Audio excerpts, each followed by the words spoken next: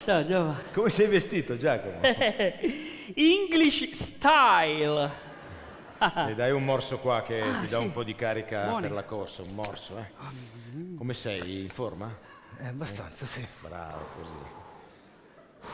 Giacomo, l'hai mangiata tutta? Sì, era buona, i frutti di bosco, è andata giù che... Mm. Adesso deve correre col secchio al culo.